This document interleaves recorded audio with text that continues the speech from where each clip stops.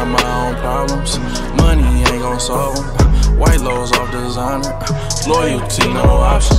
Please don't start no drama. We the ones get shit poppin'. Please.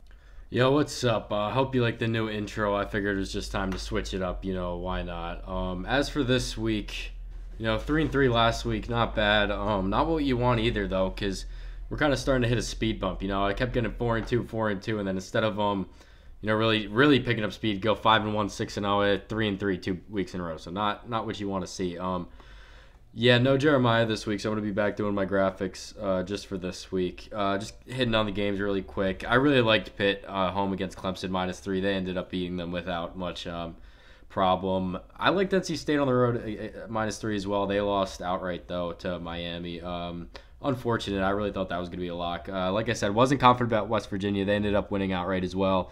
Um, Falcons Dolphins. I'm trying to remember this game. I, Falcons were a half point away from covering. I think they won this game by two. So um, that was a that was a bad break for me. Um, don't remember watching that game. Uh, Chiefs at Titans. I I mean I love I love the Titans plus five and a half. I, I even bet the money line. Um, I think I told people to bet the money line, but um, you know, I did bet the money line and I made uh, some money off of that. Um, just just the game. See, I'm gonna talk about this game real quick. My whole thing was they're gonna be the Titans are gonna be on the field offensively the whole time. It's not gonna matter how fast you know um, the Chiefs score. You know, it'll be um, it'll just be a game of uh, what do you like attrition, I guess, and um. And the Chiefs' offense never did anything, so this this is why this game ended up being like a blowout. I think the, um, Titans probably covered the five and a half. They ended up blowing them out, actually. Yeah. Um, whatever. Yeah, that was an easy one. Uh, and then Saints at Seahawks. This, this, terrible Monday night game. Nobody really did anything besides Alvin Kamara, and the Saints won by like two. I think. I think it was like 14-12 or something like that was the final score. Um, didn't cover the four and a half. Very upset about that, and it, it is going to be a little bit before I bet the Saints again. Uh, moving on to this week. Uh, you know, you know, switching it up with the, the new intro. I wanted to, you know, uh, start doing something else. I'm doing throwback logos this week. You know, whatever. Um, the Kansas State logo looks kind of weird. I don't, it's giving me like racist vibes. I don't really know why, but it just kind of looks like a, a weird caricature. Caricature. Um, whatever. Um, Kansas State minus three. Uh, TCU has been having um, problems covering all year. I think they've covered once. Um, I like Kansas State a lot. I like uh, Deuce Vaughn and just I just last time I bet uh, TCU, you know, I ended up going right. So I like Kansas State this week minus three um, at home. Moving on, I like uh, SMU plus one at uh, Houston. I believe they're gonna win outright. You know, plus one doesn't do a whole lot in um in college football. You know, where you can't end up in a tie. It literally just if they lose by one, then it's a push, I guess. Um, so I do like SMU outright, but just just for the sake of tradition, I'm, I don't do money lines here. I just do uh, whatever points they're giving. So I like them plus one. Um, believe they're five and two against the spread. SMU is.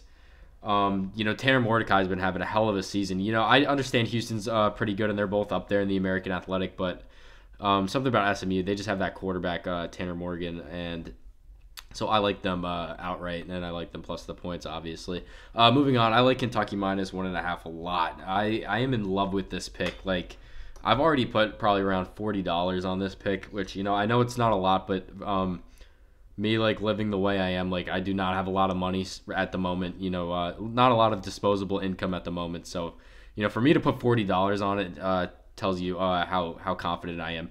Why I don't understand why this is only one and a half. Um, I didn't write down what Mississippi State is against the spread. I, I, I believe they're like three and three. Um, Kentucky's covered every week except once. They're six and one against the spread. Um, and they're gonna like one and a half. I think they're gonna blow Mississippi State out of the water. I haven't seen anything from Mississippi State this season. Um, well, I've seen a lot from Kentucky. You know, I had them fucking ranked uh, seventh, I think, after they lost. Um, so one and a half, like that's that's free money. It's, Kentucky minus one and a half is free money this week. Uh, I don't understand why that is as low.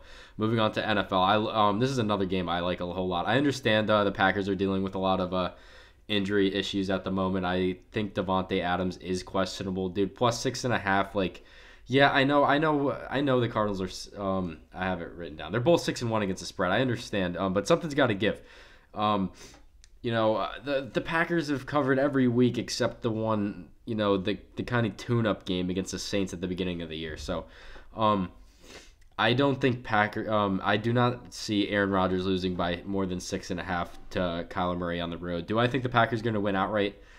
Um, yeah, but I want to put money on it. You know, I'm kind of either way. I, I I do think the Cardinals would win outright, but um, I'm not confident in the Packers money line. But plus six and a half, like it's just like this is this is way too much. Like in an NFL game against a team as good as the Packers, you know, I don't understand where they're getting this six six and a half number from. Uh, moving on. I like uh, the Browns minus three and a half. This one I'm not as confident in. You know, just another Browns are another team dealing with you know just a plethora of um injury issues this year, and I'm not really um. This is more of me just not liking the Steelers, dude. They don't have a quarterback. They have no line. They haven't been able to throw it, and their defense hasn't. Um, they kind of kind of have um underperformed to this point. Not as good as you would have hoped. So um, minus three and a half. I, th- I believe Nick Chubb's back this week. So I mean three and a half. The Browns in theory should be winning by uh, a lot more, but you know with all the injuries, that's why this uh, number is as low as it is. So three and a half. I'm not worried about. Uh, final game. I love this one a lot. This is another one I've put a, a lot of actual money on. Um, yeah, there's no old Vikings logo. They've had the same logo forever, so that's why that's there. Um, Cowboys minus two and a half, dude. This is another free money game. I somebody has to be injured that I don't know about, but as far as I know, everybody's playing um, of note. So, you know, yeah, the Vikings are a good team. I, I think the Cow- Cowboys are another team that's six and one against the spread or five and one against the spread. They cover every week. So um, they're gonna. I I bet the Cowboys the other week, and you know it worked out. So I don't know. Um, I haven't seen a whole lot of Vikings games to be honest, but still, like just looking at uh, their individual records against the spread is kind of enough for to, you know, convince me. You know, I do like the Cowboys this week, but um, that's not it at all. I do like the Cowboys as an actual football team, not betting wise, and um, I expect them to cover. That's about it.